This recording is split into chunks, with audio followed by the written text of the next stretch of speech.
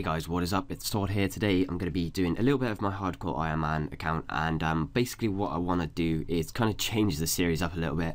Um, I didn't really think about how much work um, uh, the Taskmaster would actually come into. When I sort of originally made the introduction to the series, I was like, yeah, Taskmaster, that doesn't sound too hard. And then I looked at requirements and um, to be honest, I haven't even done it on my main account, let alone on this account. Um, so I think it is, it's going to be a lot harder than I originally first planned. So what I want to do um, is this. This is going to be a pretty short video, so I do apologise. Um, but I want to try kind of change it into something a little bit different, something a little bit easier, maybe a bit more of an achievable goal. Um, possibly something like um, maybe just get the QBD pet or maybe even 500 chests from QBD because I think that would be quite fun to do and also it will allow me to sort of teach you guys a little bit about QBD and a few techniques and tactics that you should do. Obviously being a hardcore Iron Man I could only dive really once so what I'm thinking is up until the point that I am prepping my account ready to get to go to go there sorry um, I'll keep it as a hardcore Iron Man and then what I'll do is I'll drink my jar of Divine Light and become an Iron Man once I am ready to go QBD because there's always a real good chance that you will die at QBD so obviously on a hardcore Iron Man it's going to be even more because of the gear that I'm going to be taking it's probably going to be not as good as um, some of you guys possibly would like it to be but I thought this would be a better direction for the series itself. Um, obviously, I haven't really played it at all, and I've been really focused on getting the max cape, and um, I think that's uh, the kind of way I'm going to continue to go, um, unless I can do something really AFK on my max cape and on this at the same time.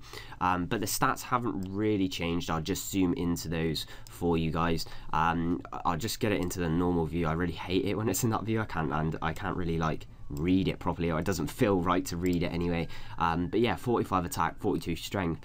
48 defense, 37 range, 45 prayer, 55 magic, 68 runecrafting, 18 construction, 22 dungeoneering, 48 constitution, 22 agility, 20 herblore, 17 thieving, uh, 37 crafting, 14 fletching, 42 slayer, 14 hunting, uh, hunter, sorry, uh, 27 divination, uh, 31 mining, 32 smithing, 49 smith fishing, 50 cooking, 55 fire making, 55 wood cutting, 26 farming, and finally 18 summoning. So what am I going to need to do this? Personally, I'm going to obviously need to get my summoning up to around about 60, I think is the mark when you can get into the dungeon. I also want to get my smithing to 70. I think that'd probably be a good idea to sort of do just because of the fact that like um, then at least I can make myself a royal crossbow if it's going to be of any use to me. I also would like to get 85 uh, 85 Herblore, that's going to be quite a task in itself. So obviously a lot of uh, daily challenges and that sort of stuff will have to be done for that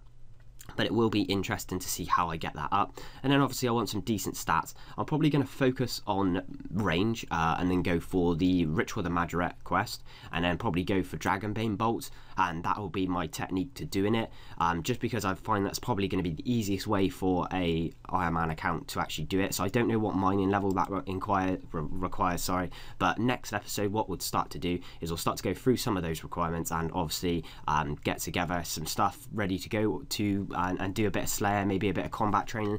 But let me know, guys, what you think about the change in this series. I'd love to know your opinions because at the end of the day, this is to entertain you guys. So personally, I would have thought the Taskmaster after a while would have been like, oh, it's, it's not really going anywhere, to be honest. It's quite hard to do. So I thought this would be a better route. Or maybe if you've got a different idea, maybe you want me to go and get the Bandos pet or something like that, it's up to you guys. Let me know down below. And obviously, as always, guys, leave a like and I'll be sure to see you in the next video. Have a great day, whatever you're doing, and happy RuneScaping as always.